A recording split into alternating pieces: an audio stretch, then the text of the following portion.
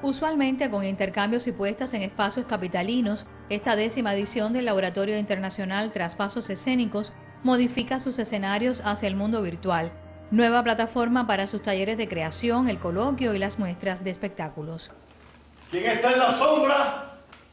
Entre los 25 seleccionados de Colombia, Brasil, Argentina, Ecuador, México y Cuba, está No es el coro, es el solista del colectivo Cienfueguero Velas Teatro, una apuesta que retoma con otra perspectiva un texto habitual de su repertorio, El otoño del cerdo Antonio, del dramaturgo Ricardo Muñoz Caravaca.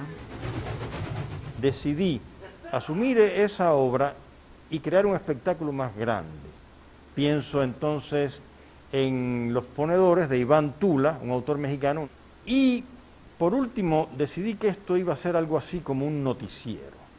Intento que el público venga a la sala y sea dirigido, orientado por una presentadora de noticias que va informando y no a través de noticias literalmente, son poemas de un autor cienfueguero, Jesús Candelario. El pueblo cuenta sus horas y trata que no pase algo.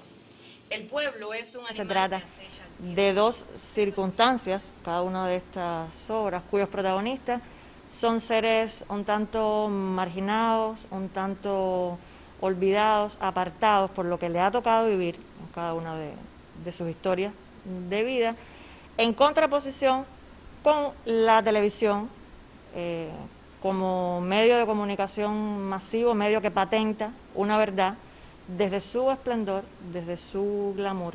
Abarcando de forma experimental todo el pequeño espacio escénico de Velas Teatro. El hecho de grabarlo y convertirlo en un audiovisual para poder enviarlo a traspasos escénicos responde a lo que está haciendo traspasos escénicos este año en su décimo aniversario, que es teatralidades urgentes. Finalizamos nuestro espacio, no es el coro, es el solista. Lo que yo quise fue que se filtrara, que eso que ocurre cuando el público está en la sala, tratar de que apareciera en el audiovisual. Un espectáculo que conforma la vasta muestra que del 3 al 7 de noviembre acompañará los habituales talleres, coloquios, espacios de intercambio y diálogo del Laboratorio Internacional Traspasos Escénicos, que en su décimo aniversario dedica también esta edición a los 45 años de la Universidad de las Artes, ISA. Ismari Barcia, Notisur.